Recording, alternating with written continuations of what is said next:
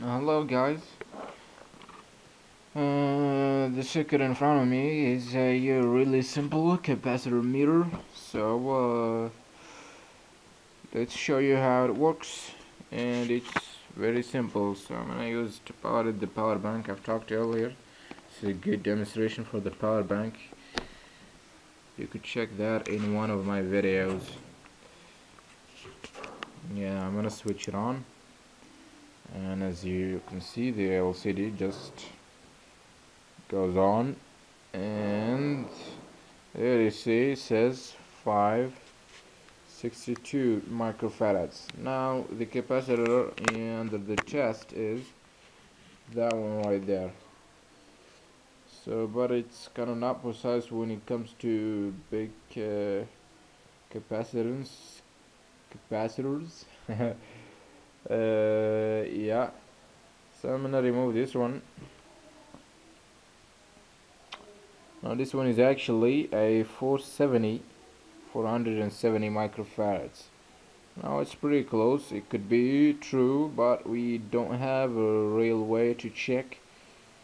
We need some kind of uh, sophisticated capacitance meter or ESR uh, meter or something like that um, so I'm gonna try this other one. Well small values they get pretty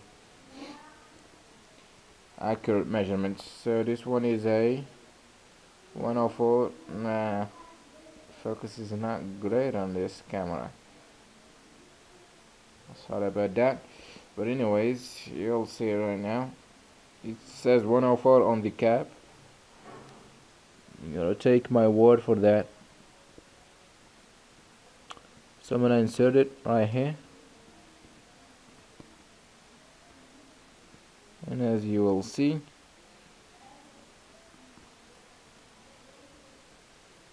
says 102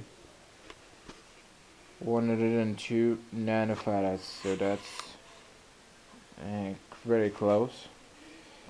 Yeah so this capacitor meter you can check the I found the I mean the circuits and all the code and stuff on this guy's blog. The blog is called uh, Electronoobs I believe. So you can check it out and build your own if you have a good way to measure or a good multimeter or capacitance meter. To verify that the values displayed on here are accurate that's gonna be great but in my case I'm trying to build one because I don't have one. So that's the deal for me. Uh, I don't want to buy some kind of expensive equipment since I don't have a lot of money to do so. So uh, I try to build my own tools. So that's what is this? Uh, that's a try to build one of the tools. I've also got another LC meter uh, based on PIC uh, that's this one. The LCD is kinda I removed the LCD to use it with this one.